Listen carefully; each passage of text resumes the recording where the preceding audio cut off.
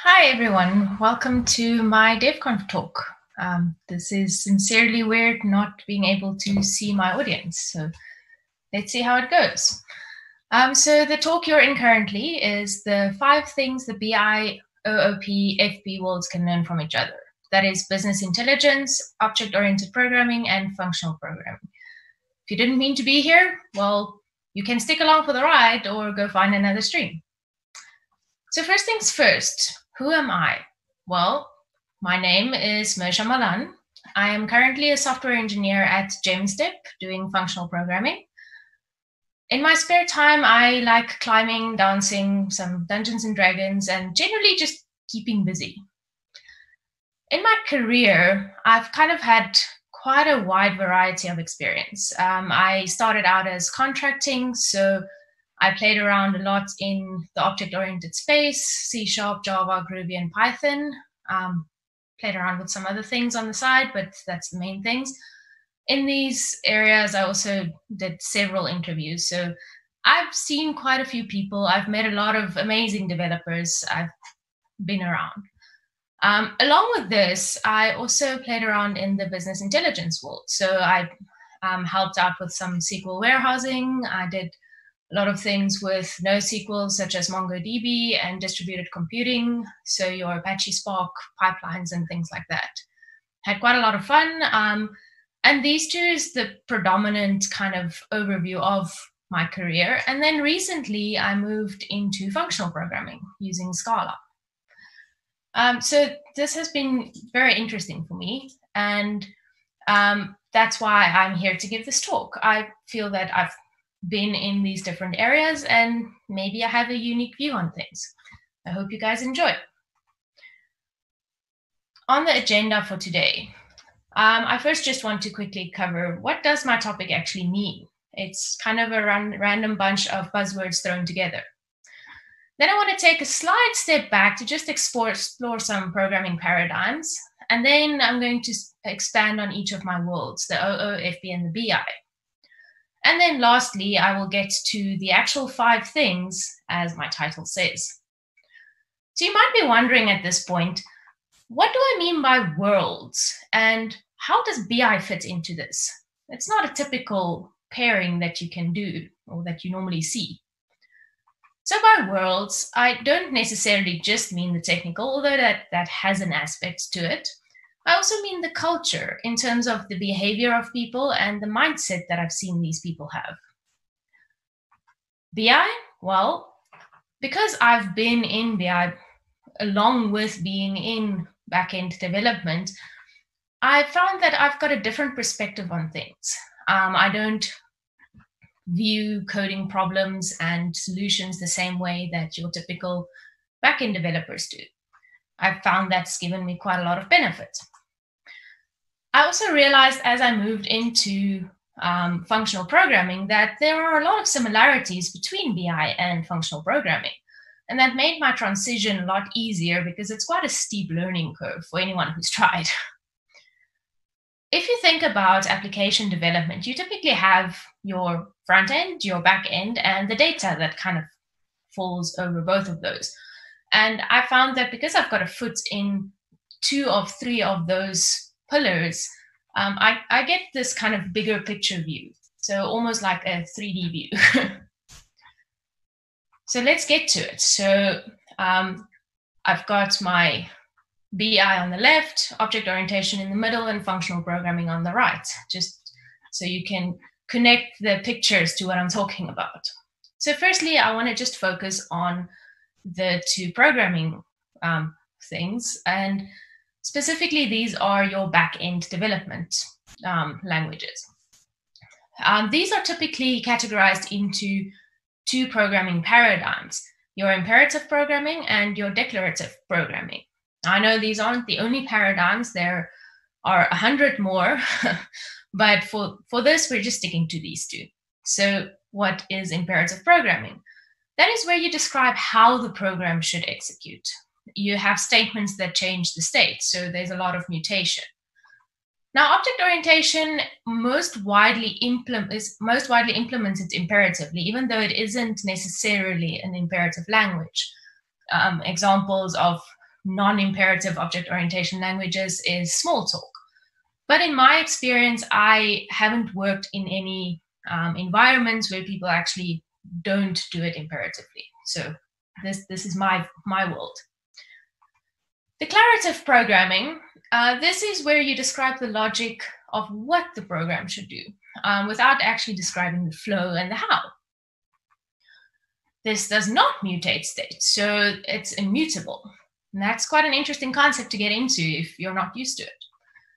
Now, as you might have guessed, functional programming falls into this paradigm.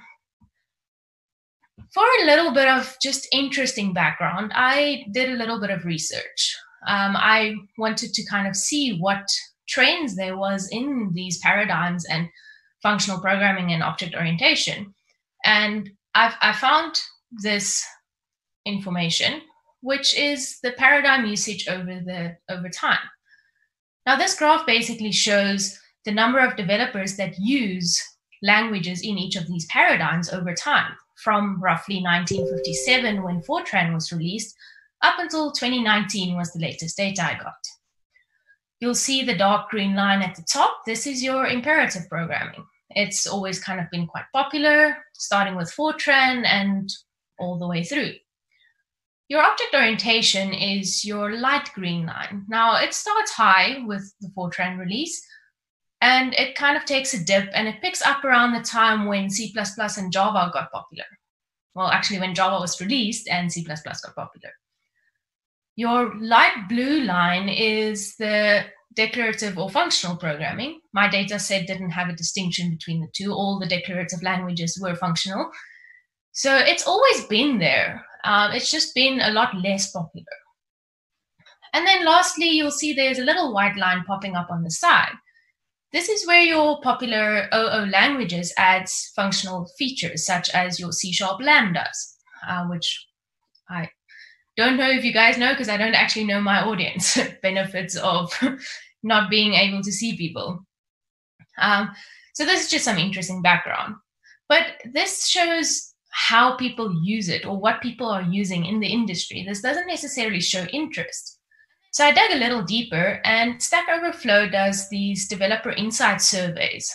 And over the last five years, they asked the question What are your most loved languages?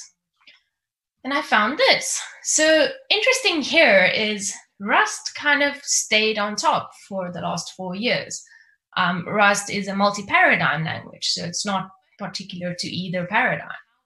You also see some other trends like your TypeScript with the web frameworks, Kotlin when it got released, got immediate popularity, Python as it is um, related to your machine learning, that kind of picked up quite a lot. You also see some of your mobile development. But the interesting thing about this result set is mainly that you don't see your Java necessarily here, your very um, strong object oriented languages. C++ 11 is the one that released functional aspects. So obviously the, there has been a shift in interest. So let's dig into object orientation. Once again, I don't know my audience, so I'm just going to assume that you guys don't know what this is. um, I'm going to dig into what I call this world. Um, I, I'm classif- categorizing this into what is object oriented programming. Don't worry, I'm not going to spend 20 minutes on this. Also, the people from my experience. What, what do the people that work in these areas look like? Uh, what behaviors do they have? And then, how do you solve a problem using an OO mindset? So, object orientation in a nutshell. As I said, it's widely used in an imperative way. That doesn't mean it has to be, but that's the, the widely used practice. You describe your data in terms of objects. These objects have fields that describe what it is and methods that describe what you can do with it. These methods typically mutate some kind of state, so mutation is a thing in OO. The people that I've seen most developers kind of start here. So if you're coming out of varsity or even from varsity, this, this is what university teaches you if you went to university. But if you come out of school, even you join a project, it's most likely going to have an OO backend. Even if you do a Google search result for programming tutorial, the first page of results is all OO tutorials. So this is a kind of a starting point. Um, further observations I've made is in terms of after you've started, where do you go? And I've, I've seen certain phases along the career path, specifically of OO developers, because that's where I spent the first few years of my career. So this is very um, specific to my experience and my observation. I've seen that a lot of people start out as what I call a Stack Overflow dev or a copy paste engineer. this is where you essentially um, search stuff on Stack Overflow, you copy and paste it into your code base until you hack together a solution that works. I know everyone still uses Stack Overflow, and there's nothing wrong with that. I just mean this is the phase where you predominantly just copy paste and you don't really understand what you're doing. Then you kind of move into this world's okayest dev, which is a term I stole from one of my colleagues who has this a shirt that says this, which is pretty cool. This is where you have a good understanding of what you're doing, um, but you don't necessarily have a very deep understanding. You you can write your majority of your code without having to consult additional resources. Further along the line, you get your deep understanding. This is where you understand how your compiler works. You think about memory management, how your data structures are actually working in the background. Um, this allows you to kind of go a bit further think a bit further. You can solve more complex problems this way. And then lastly, you have what I call an OO master. Now, this is where you can probably rewrite the JVM at this point. um, the reason why it's so low, um, so the line indicates the number of developers in these areas. The reason why the OO master is so low is because, firstly, there's not really a need in the market for this. I mean, who wants someone that is so specialized in a specific field that they can't do anything else, right? And also, a lot of people don't have an interest to go this far. They either go into management or they decide to rather go the architecture route or they jump paradigms. Another interesting observation that I've made was actually the years of experience related to this. You'd kind of expect that to be a linear curve, right? That's actually not what I found. I found that at the beginning stages, everyone copy pastes until you understand a little bit more. And as you gain experience, you become the world's okayest dev. Um, please note, I'm not judging at all. This is an observation with no judgment attached to it. um, then you get the dip in the curve around the deep understanding. So the reason for this is I found the people I know that really, really understands this. I mean, those people you work with that seriously intimidate you with their level of knowledge. They start very early, either at school or early in their career, to really dig deep, ask those questions. How does this work? Why does this work? What's happening in the background? And that's why I've, found the dip in years of experience. And then lastly, um, OO Master is you're those people that did this for many years. so, how do you solve problems using OOP? Well, you'll model your application data using objects, which first means you need to figure out what that means. And then imperatively, you'll describe how, step by step. To take it further, you can apply certain design patterns like the Gang of Four book or um, just some OO principles to abstract your data. Um, that's the typical you have an animal and a cat and a dog thing. so let's take an example. Now, you might notice I am a little bit biased towards coffee here.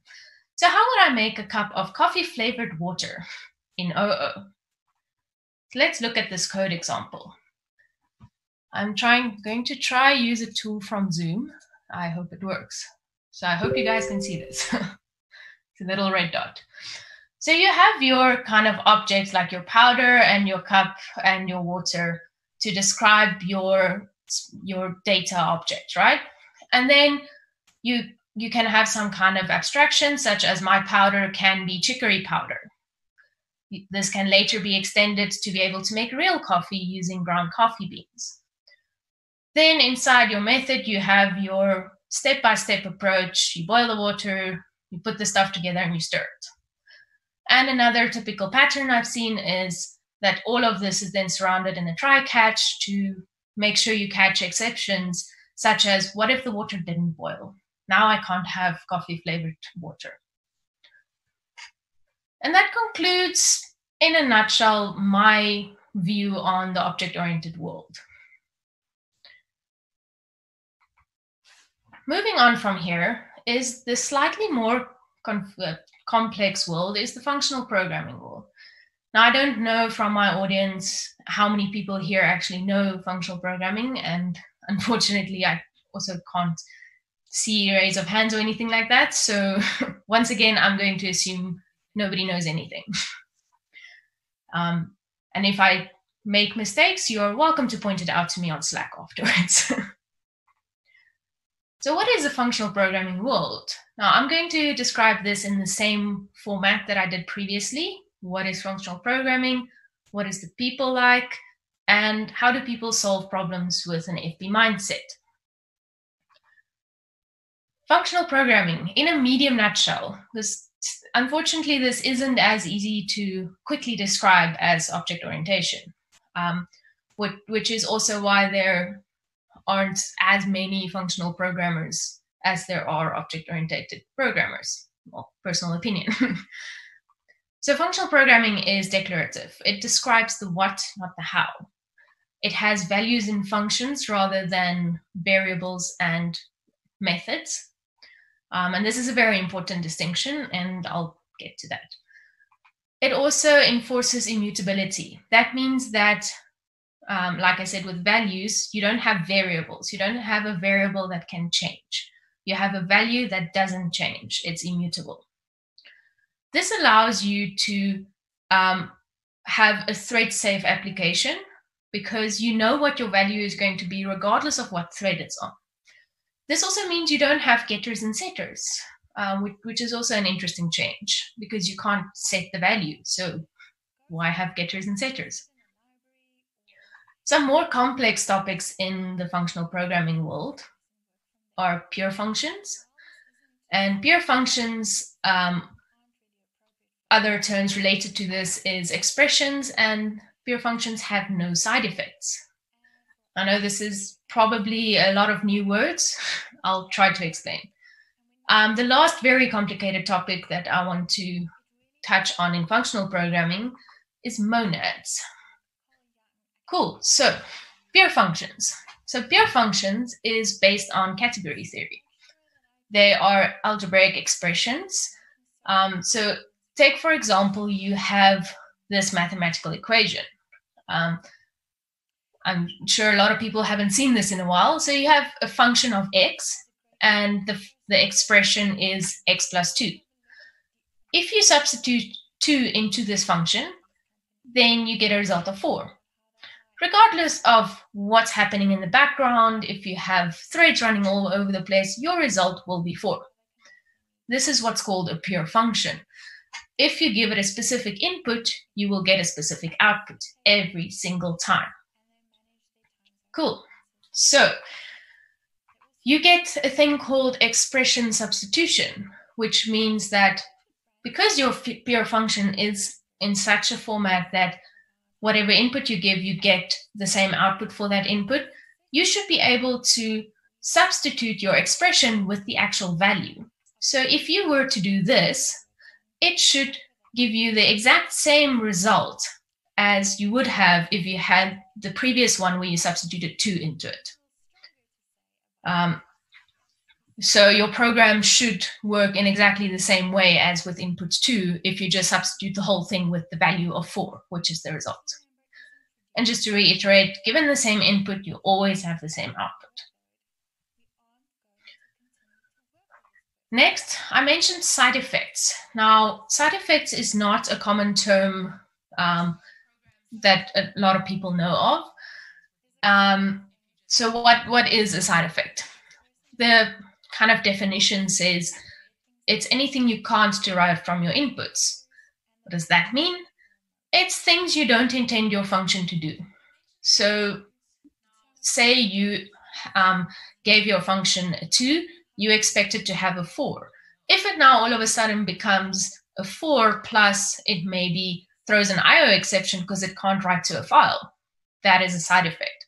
So anything that's out of outside of your control that wasn't your intention with your original pure function. So this is something that's really powerful in functional programming because that means you have a lot more control over what you do. Now you may be thinking, how do I actually have no side effects? I mean, that doesn't make sense. You don't never write to a file, you don't never print to your screen. so this is where monads come in. Now, monads is, like I said, a very complicated topic, and it took me many, many months to understand this concept, and I probably still don't understand it properly. So I'm going to explain on a high level. Um, I know many before me have failed at let's explain monads simply. so for now, just follow my analogy. Um, and just to take a slight step back, the reason I want you guys to follow my analogy and have a slight understanding of what I'm talking about is when I draw my conclusions at the end, you will have more of an idea of where I'm coming from. It will make more sense.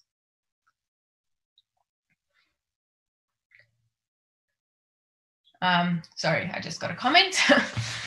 so, think of a monad as a happy little box. This happy little box um, can contain effectful code. So that means your code that has side effects is in here. Now, this happy little box, um, you can also think of it contains expressions. What your box does, it keeps your effectful code safe. So think of it, it it's like a little wrapper. It, it just keeps your, your effectful code in there and it's all happy. You pass this box along instead of the content. So you'll you'll see um, if you guys aren't familiar with the face on my box, that's Bob Ross. He's a painter that paints happy little trees, hence the happy little box. Um, instead of passing Bob Ross around, you're actually going to pass him inside of the box. Um, that you'll pass this between your functions throughout your application. If you want to do something to your expressions inside. You will open the box, you will do stuff, you'll transform your expressions, and you'll put it back in the box and you'll pass it along. Now, functional programming languages gives you certain um, universal abstractions that you can use on these happy little boxes or monads, such as map, flat map, collect, um, there are a bunch of others, but these are basically patterns that you can apply to transform your box. Well, not the actual box, the contents inside. Um, some of you might have seen this in languages such as C Sharp that added lambda functions or wherever else. It's a similar concept. So, how this would work is you would apply, for example, a map and it will transform the insides of the box pretty simple if you think about it in boxes. Now, last concept of this happy little box is now obviously, if you think about it in terms of code, you have a function that does stuff. Now, you can't just have the code that does stuff in there. It actually needs to execute at some point, and that returns some result. Now, since it can be effectful, this result could be some IO exception. It could be an error that got thrown because your water is not boiled. So, what your box does is it categorizes things into generally what is considered a good or a bad result. So, it will automatically know okay, it was an error, so let's put it in this bad result thing, or it was good and you put it in a good result thing. I'm saying automatically, you generally specify, but for now, let's just see it say it categorizes it. This allows us for something we call happy path error handling. What this means is while you're passing your box along your application, you're assuming that it actually gets a good result. So um, you're assuming that when you write to a file, you did it successfully. It didn't actually throw an exception. It was fine.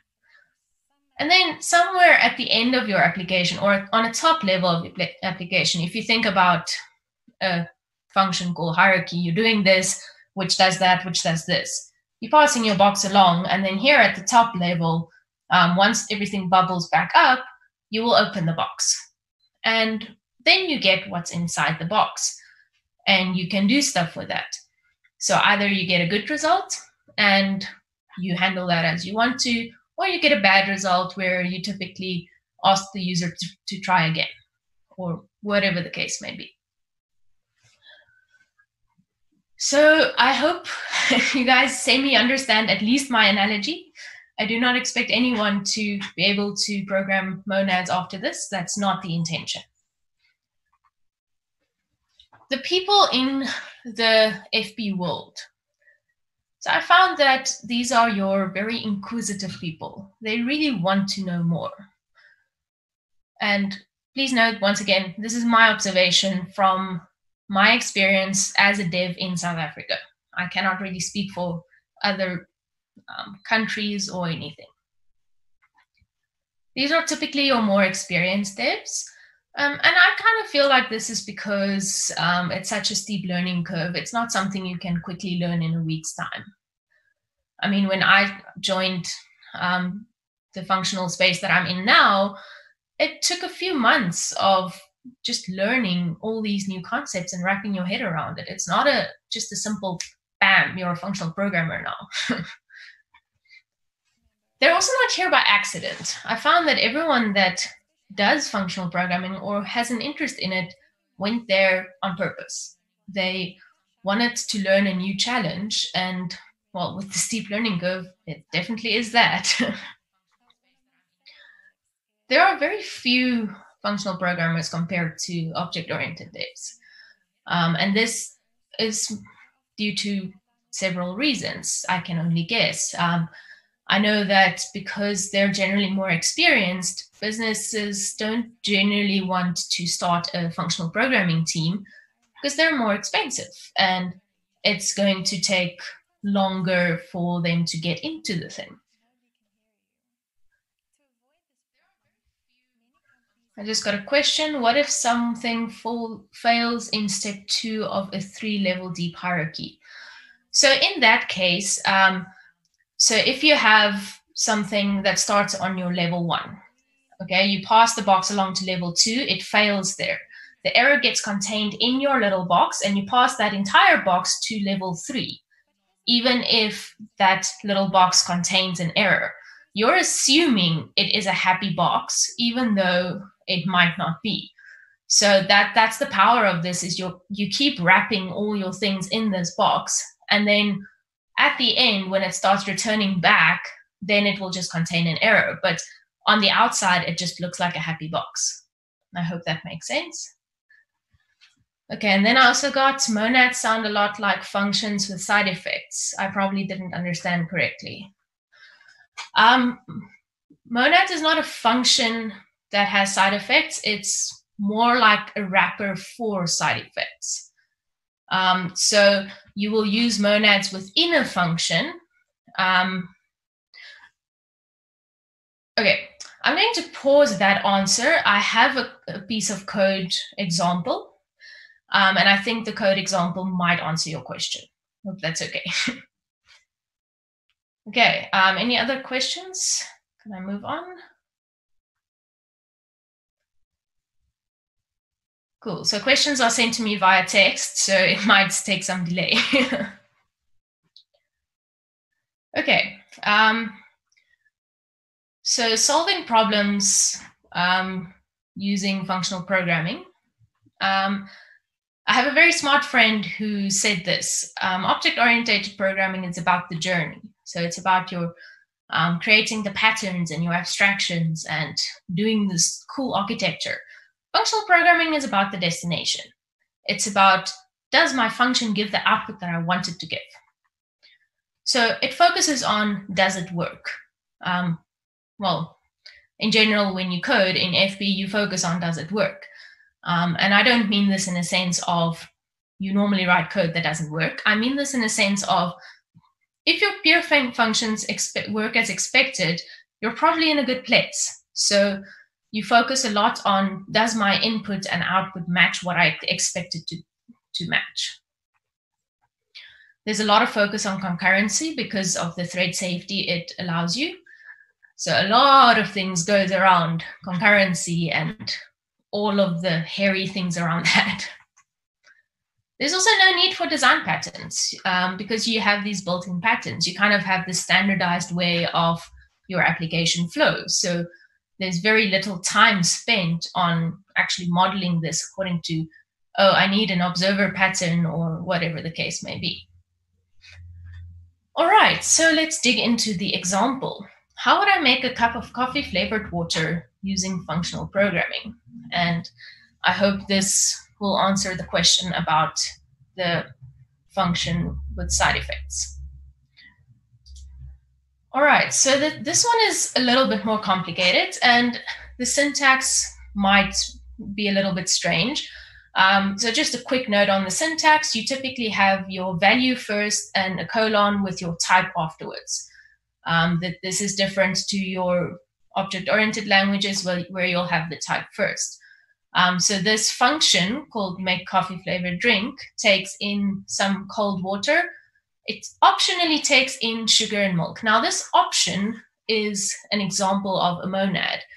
This option can either contain sugar or we have a type called none, which means it doesn't contain anything.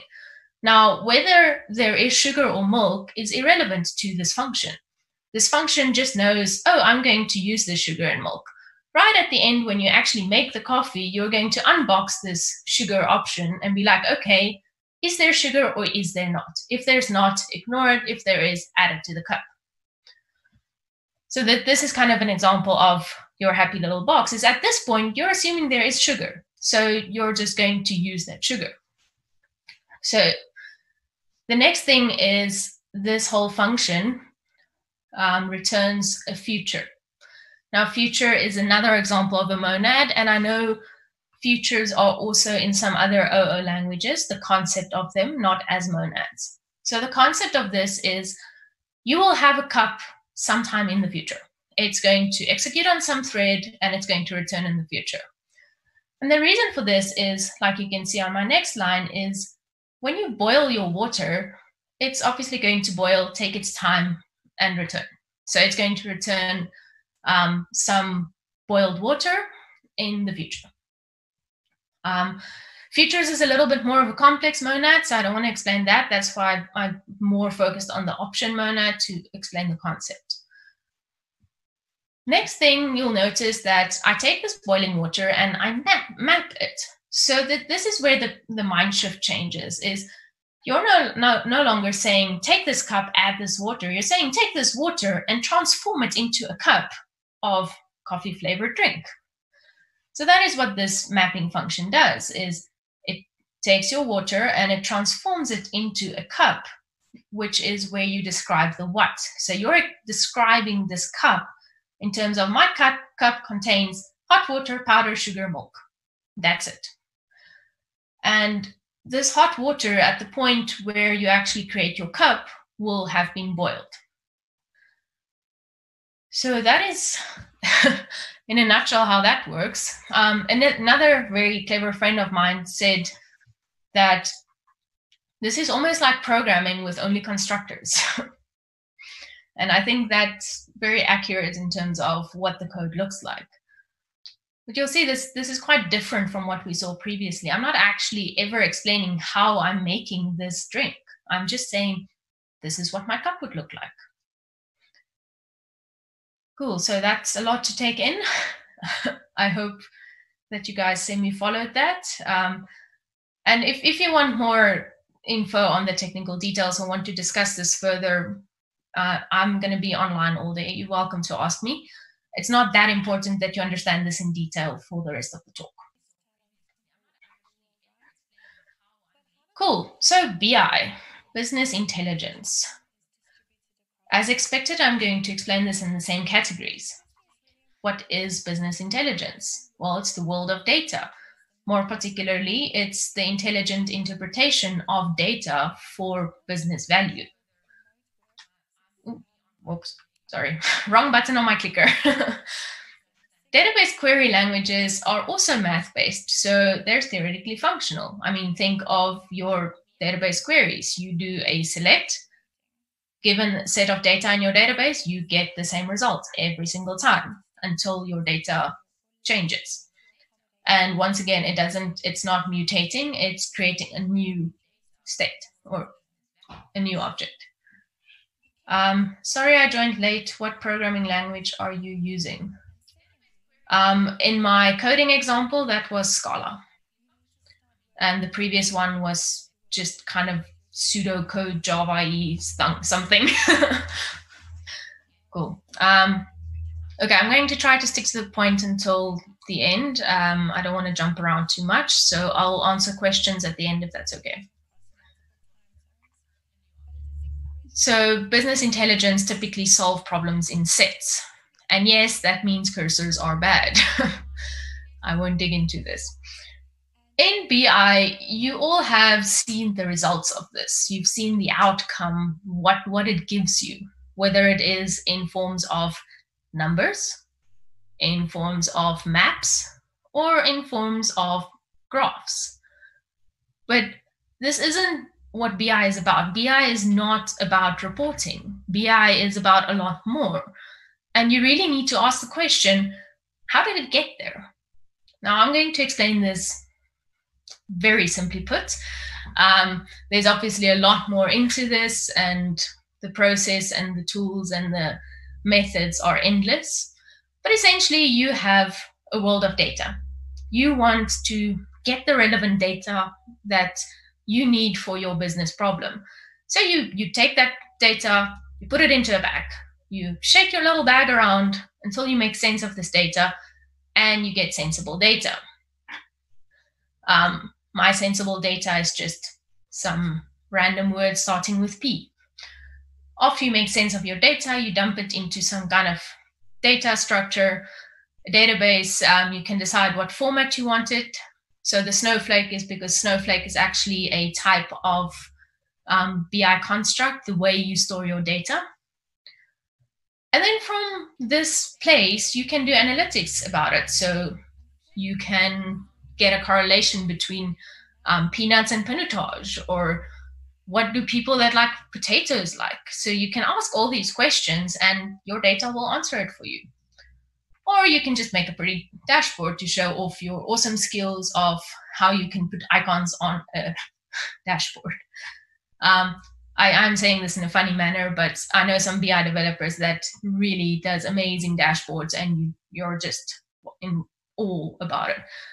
The strange thing is that your dashboard takes about like 10% of your time, if even that much. All of the work is actually up to this point. If your data is in a format where you can report on it and do analysis on it, it's easy. What about the people? Now, needless to say, the people understand data. I mean, really understand data. Also, they really understand business. Um, if you need to create data for a business and model it in a specific way, you really, really need to understand the business. And sometimes they even understand the business better than business owners do. The ones I know also have this magic power to look at a problem and solve it as a data set. They just have like how I always picture it is they have like this picture of a table in their head of exactly what the solution would look like. Um, I've even had one of my BI friends do Advent of Code using SQL. Um, that was very interesting because it's not something you think you would be able to do in SQL, but yet you can. Often these um, BI developers, from my experience, doesn't really come from a development background. They rather come from a mathematical background. I was quite unique going from development to BI, or, or kind of foot in both worlds thing. Um, but I mean, this this isn't necessarily the rule. Like I said, South Africa developer, my experience. so solving problems using BI, you firstly, like I said, learn how the entire business operates um, on a much broader level than your application devs. And then from there, you need to find out what all your stakeholders want. And this this is where the kind of difference comes in is you talk to the CEO, to the financial department, to the clients. You need to figure out what data do each of them need and then find a way to kind of put that together. It's not just about the client wants a swing and thus my data is a rope and a tire and whatever you need. Further than that, you then determine what the best technology is for two different things. Firstly, storing your data.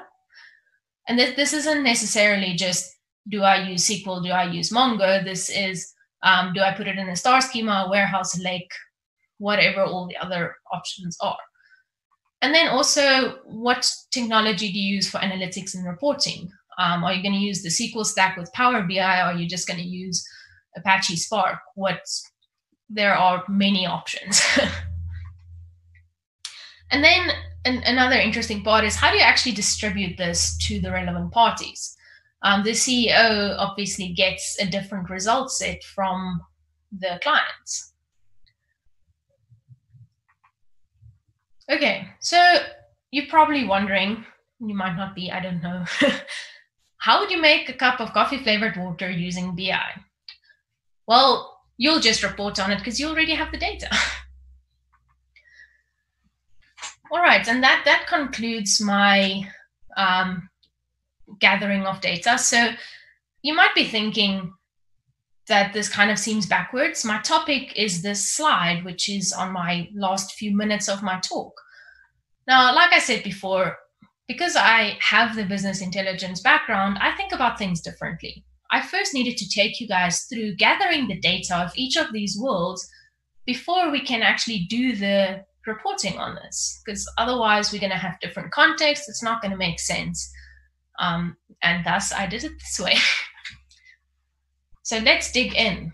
Number one, this is one of my passionate points. It's all about the data. Now, regardless of whether you're working in BI or Java or Scala, it doesn't matter, it's about the data. The ultimate goal of creating an application is to solve a business problem. And this requires the storage, the reading, and manipulation of data. If you want to know what a business looks like and how they work, you look at the reports. I mean, reports gives you everything that's important to your business. Very few developers will think about that this, and this is something I've found very useful. If you think about um, databases that you've seen, you might have seen one of these patterns before 40 columns, of which 20 are always null. Embed all your information in a single document in NoSQL. Generic table with columns such as field 1, field 2, etc. Or embedding XML that contains frequency, frequently accessed fields. Now, this doesn't only make BI a nightmare, but it also makes development a lot harder than it should be. So also to think of what if your database crashes? I mean, these are all things that just prove that the way you store your data and how you model it is actually really important. So we really should be thinking about it a little bit more. So from the BI world, spare a little thought for your data. Two, deep technical understanding of code is important. How often do you feel, I think this will work, I don't know why this works. In an ideal world, you shouldn't be feeling this way at all. We do have different interests, and that's okay. Not everyone wants to understand what the compiler does in the background.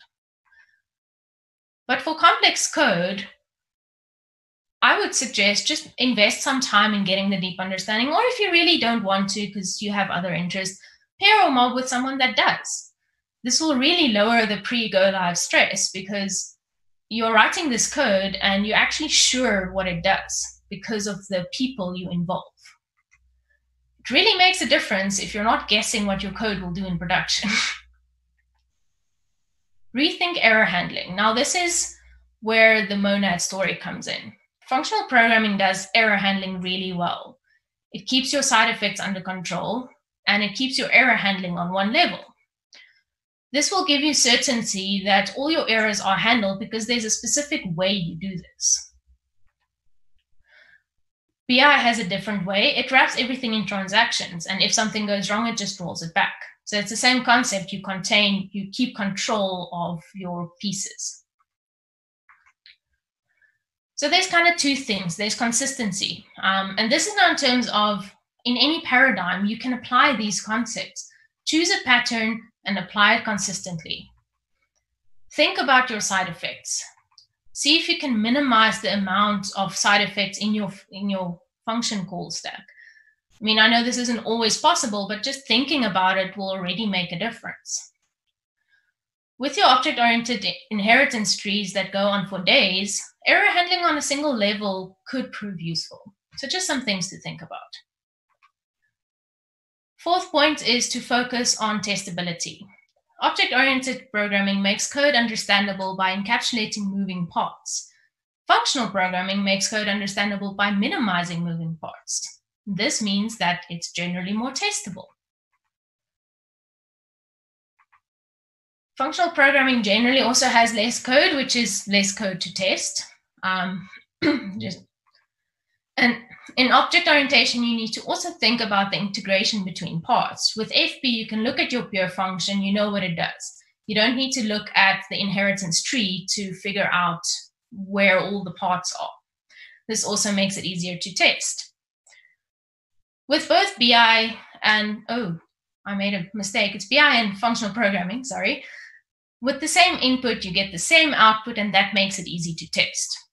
So, on that note, you can apply a mindset to any paradigm. If you keep testing in mind when you do development and you aim for as close to pure functions as you can get, and you try to minimize your uncontrollable parts.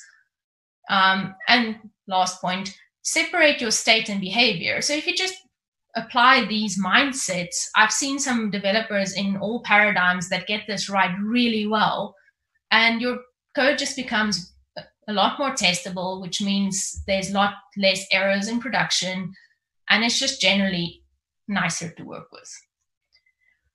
Okay, two minutes, so I'm gonna try get through this. Lastly, choose your technology and solution based on the problem, not the skill set or the latest trend. Now, this is not something that comes out of a specific world for me. This is something across all the worlds. Um, the worlds are kind of isolated and they work in isolation from each other and they don't really talk to each other. So don't be afraid to cross your worlds. Um, a SQL expert might, um, might tell you, I can solve your problem using a data warehouse. They don't ask what's your problem. A backend dev can say, I can solve your problem using microservices and this technologies. They also don't really ask what's your problem. Choose your technology based on asking what's the problem first and then applying it. Um, now, I'm not saying everyone doesn't do this. I'm just saying I've, I've seen this as a problem oftentimes. I'm going to further illustrate my point with two examples. So your BI or database dev chose the best database to model a monolith, but your backend devs are implementing microservices. So what now? Cross your worlds, learn a bit more about the other side, and maybe you can come up with a, an amazing solution. Um, the problem isn't just the communication, it's also understanding the other side. And lastly, this example. Let's use MongoDB. Everyone else uses it, but you have relational data. But Mongo is web scale, it can do anything. You really shouldn't be doing that.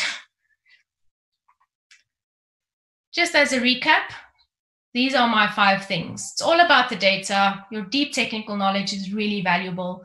Rethink your error handling, focus on testability, and don't be afraid to cross your worlds and choose the right tech for the right job. Don't really have time for questions, but I do quickly just want to mention my references. Um, this is the YouTube video from Data is Beautiful that I used for my information and the Stack Overflow insights and some awesome colleagues and friends with deep understanding in areas that I don't have. With 20 seconds to go.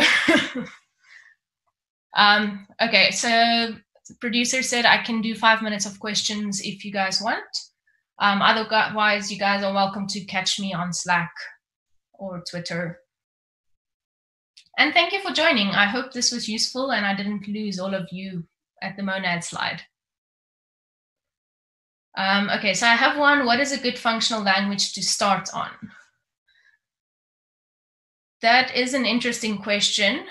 Um, so Haskell is said to be a good language to start on mainly because it forces you to do functional programming. Scala, for example, allows you to do object oriented programming. So it's very easy to um, mutate your data or um, use loops and if statements instead of recursion. So Haskell forces you to use those paradigms. But that being said, it's not necessarily going to be easy. um, but it but it's probably a good start. That that's what was recommended to me was to start with Haskell. Okay, and those are all my questions. Thank you guys for joining, and I hope this was useful in some way. And enjoy the rest of DevConf.